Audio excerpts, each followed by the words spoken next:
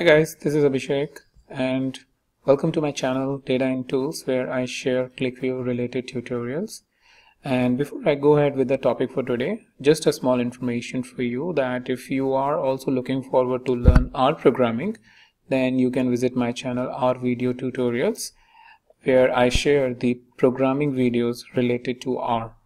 And apart from this, if you want to get the QlikView related videos directly in your inbox, you can always subscribe to my channel and get notification directly in your inbox. Alright, let's go ahead and start with the topic for today. And the today's topic is about uh, how we can create the subroutines within the ClickView. And it's about creating a function where you are passing the parameters based on the calculation that you want to do multiple times so instead of uh, specifying the calculation in each and every load statement or multiple times within the script, you can just specify the location or the function uh, at one single location and keep calling that function. So we will go through it and learn about how it will be meaningful for us. So let me go ahead and come to this my QlikView document. So this is a sample QlikView document which I have been using from past so many examples. So let me go back and show you the script which I have written for you. So here is a small script or the subroutine that I have written for you. It starts with sub and the name of the subroutine and then whatever expression or whatever QlikView related uh, statements that we want to pass. Even we can pass the entire load statement. If there is a requirement that we want uh, to load the table again and again by calling the function even you can do that. Apart from if you want to specify a calculation like this which is a very simple calculation what we are doing is we are just passing a value with the help of the variable that we declared here and multiplying it by 2 so for the sake of simplicity from the perspective of understanding, we have taken the very simple example that uh, just uh, whatever value we are passing, multiply it by 2 and store it into the final value so that we can use it in the front end. So generally it happens that uh, from your table you want to get any value into a variable and pass it on to the function because you want to do some calculations again and again so if that is the case, you can actually utilize the subroutines. So the basic idea behind uh, using the subroutines is that you have a calculation or you have some requirements which needs to be repeated over certain parameters or over certain values then you can use the subroutines to do that particular thing or to do that particular uh, scenario with the with the help of subroutines. All right. So let's see this so we have specified the value is equals to 0 over here. And within the subroutine we are specifying the final value with uh, this calculation that whatever value we are passing just multiply it by 2 and then finally and the subroutine. That means that's where we want to add.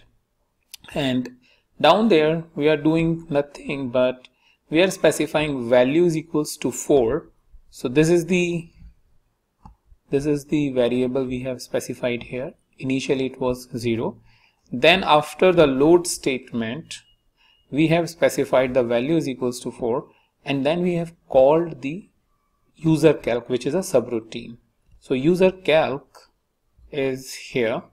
If I show you this subroutine which name whose name uh, which name is uh, user calc. And then uh, we are specifying or we are giving this value or the variable value as 4 which is coming here and then finally storing it into the final value.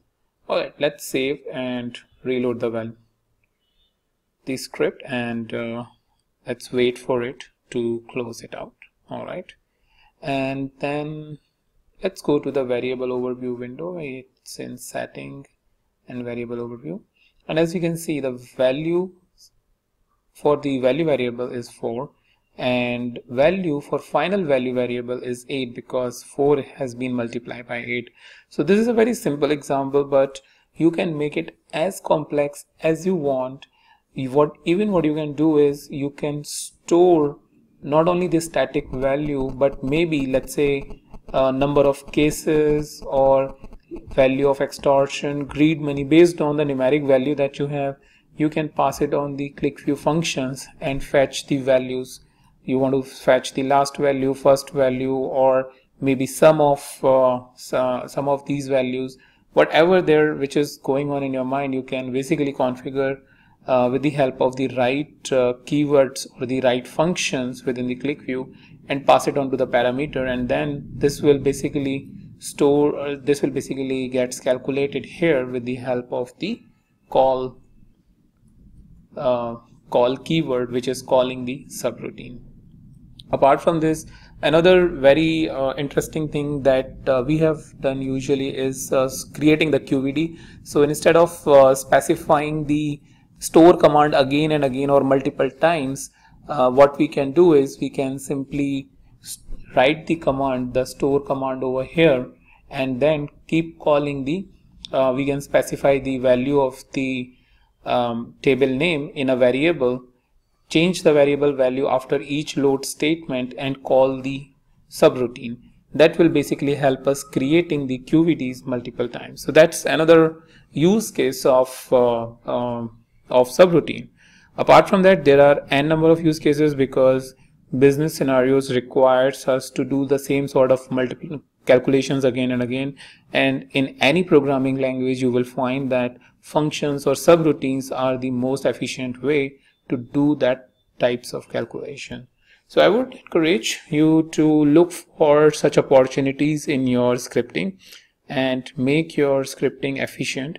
And if you have any example to share with others uh, that uh, what kind of subroutines that you have used I will highly encourage that you post that example to in comments with the help of uh, uh not with the real life not with your real data or real va column values but maybe some dummy values but at least that will and that will help others to understand how different how other people's or how you are using the subroutine in your in your programming in your QlikView programming so that's all for today's video and I will meet you in the new video, the new topic.